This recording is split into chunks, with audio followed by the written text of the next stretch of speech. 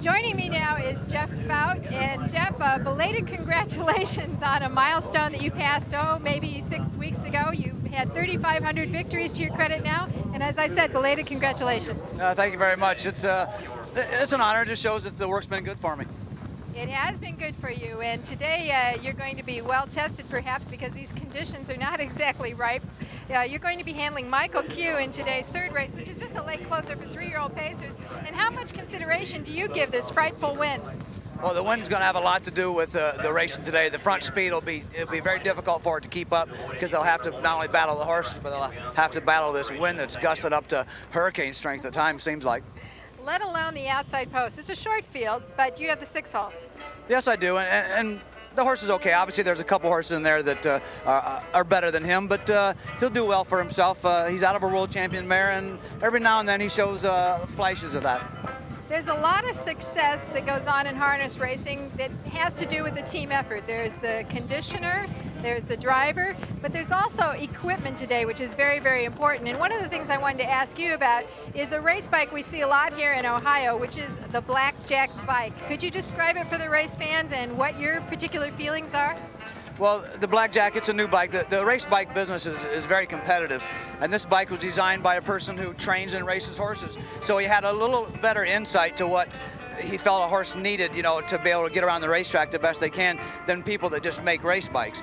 The, uh, uh, for me, I find the Blackjack to be more of just, more than just a race bike. It's almost a bit of a tool that you can use to help the horse compete in the race and do the best that he can.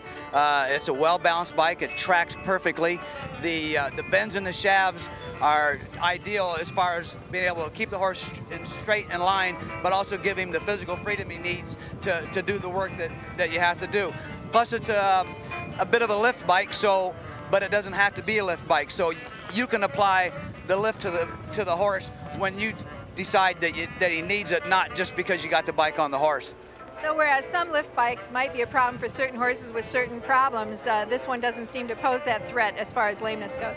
Right. Most lift bikes are full-time lift in the race. Uh, these bikes, uh, if you sit up in the bike, there's no lift on the horse, and if you lean back, the angle of the arch uh, immediately gives you a lot of lift. So you can kind of gauge yourself how much lift you're giving the horse, and uh, you know some lift does some lift does hurt horses, so you can gauge it and use it accordingly. Horse players also like to use a race bike as a handicapping tool. How could the layman quickly point out a blackjack sulky on the today's card, Jeff? Well, they'll be able to tell, first off, it says blackjack on them. All of them come that way. And second off, they'll be able to tell the shafts are a little bit longer and uh, the arch uh, is angled back uh, behind the seat instead of right up underneath the seat. And uh, the driver sits in a more uh, prone position, so they'll be able to tell. Today's drivers even buy their own race bikes and take them with them. Is this something you've done? Oh yeah, I started that uh, when the Blackjacks first come out, and for a couple of reasons. One, I thought it was a better bike than what I was riding on for other people. Uh, second off, it, it, was a new bike, and it's a well-made, very sturdy race bike, so I feel very safe and secure in it. And um, third, a lot, some of the bikes that uh, people bring to race horses in are a little antiquated. Uh, the shafts are a little wobbly, and the and the wheels aren't good. And uh, a lot of people forget how important the wheels are on a race bike. And uh, I keep brand new wheels on my bike at all times and keep a backup pair at all times. And so we have good bearings so you know everything can roll as quick and easily and efficiently as possible. Well, besides making the decision to buy your own race bike and have it with you, Jeff, one of the decisions you made recently was to forego some of your conditioning efforts and go south to Florida. You decided to stay in Ohio full time again and uh, get back to racing with a with a uh, more, what would I say, aggressive schedule. Yeah, I was just getting tired of all that sand in my toes all the time there in Florida. The uh, um, I just decided this year or this past year that uh, I would stay up north and uh, and race a little bit. Something I haven't done in almost 20 years. Almost for the last 20 years, I've uh, been going to Florida and not raced in the wintertime.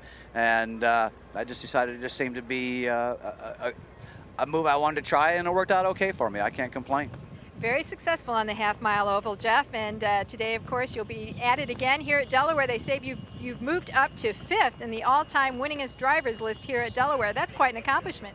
Well, I, I, didn't. I wasn't aware of that until they announced it yesterday, and uh, you know that puts me in pretty elite company, and uh, you know it gives a person a little self-satisfaction that you know what you've done with your life has uh, you know produced positive results. What's the key for driving on a half? Um, position. Position's the whole the, the whole key to the to, to getting around a half mile track. If you can't get yourself in a good spot, uh, you might as well forget it. You heard it here from Jeff Fout. He certainly knows his way around the half. That's no doubt. When in doubt, they say, go with Fout. Bye, Jeff. Thank you. Over to the infield.